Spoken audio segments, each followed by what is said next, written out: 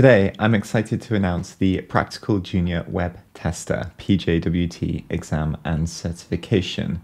We hosted a live stream covering all of the details and answering your questions, but if you missed it, here is the overview. And of course, if you still have questions after watching this video, you can always drop into our Discord server at discord.gg forward slash TCM or swing by one of our Tuesday or Wednesday live streams. Hope you enjoy. The Practical Junior Web Tester, as you all know, I'm pretty passionate about web application security. Um, and this kind of gives you like, you know, the 10,000 foot view. Um, so it's $199, comes with training. So it includes the uh, practical bug bounty training, which is basically everything that you need to pass the exam is in that training course. And uh, you know, you could supplement that with, you know, like a little bit of extra reading or maybe like the API course, for example, but you don't necessarily need to. You should, if you can go through the course uh, and uh, and you feel comfortable with the exercises, then then you're ready to go, really.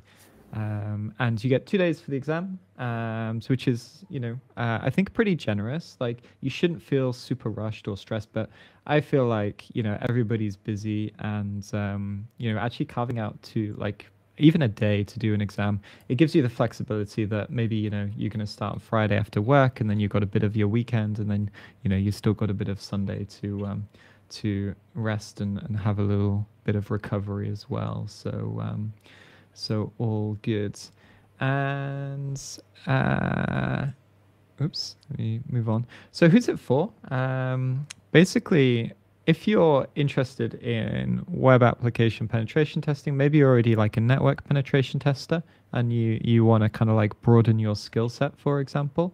Um, or if you, you know, if you want to follow the path of web application security, application security engineering, um, or you're like a, you know, maybe a DevOps um, engineer and you want to learn a little bit more about how attacks are pulled off and how you can you know, assess and design your systems a little bit better, for example, then I think this is a, a pretty good uh, course for you. Um, but yeah, generally speaking, also if you're interested in bug bounty as well, then you know this is a pretty uh, pretty good certification. And once again, the training kind of covers a lot of that as well. And all of the um, vulnerabilities in there are things that um, I've seen in the past during doing web application penetration testing.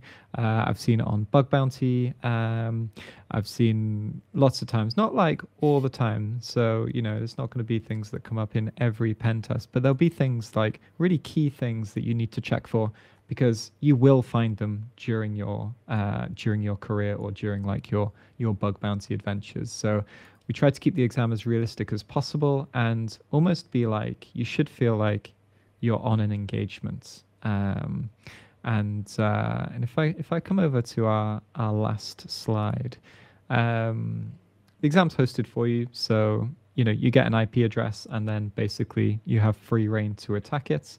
Um, you can use any tools you want. Um, outside of denial of service, you can use Burp Suite Pro, Burp Suite Community, you can use uh, scanners, you can use um, ffuf, you can use WFuzz, you can use Auto Recon if you want to. Um, basically, uh, any tool that you want to use to to try and find vulnerabilities um, you're you're welcome to use. Um, but you will probably need to use a mixture of both um, tools in like scanning, but also manual testing as well. So that's kind of one of my hints: is don't rely too much on tools, but don't neglect them as well. And then you know if you can get the balance right, you're going to be uh, successful for sure. There aren't any flags on this exam either, so I didn't want it to feel like uh, CTFE. I wanted to give everybody the experience of uh, this is what a pen test feels like. And from that, you should then be feeling a little bit more confident going into like a job interview, for example, or a little bit more confident of uh, that your skills have been validated. Um, so we do outline uh, like things to find, and my general advice is, you know, stick to the things that are on the course. Make sure you're thorough and methodical, um, but there there aren't any flags. You're expected to um, produce a report, and then and then we we grade you based on that on that report. And the reason for that is that you know when people are hiring you and and they look at your um, certifications, and hopefully you know um, as the certification becomes more popular, hiring managers will look at it and be like, ah, okay, this person can't just you know pop a shell. They can actually um, find things, they can report them, they can um, talk about remediation, and they can produce a professional report as well. So we're touching on quite a lot of a lot of soft skills. And if you're like me, you should enjoy the exam because you know it's web app pen testing. What's what's not to love?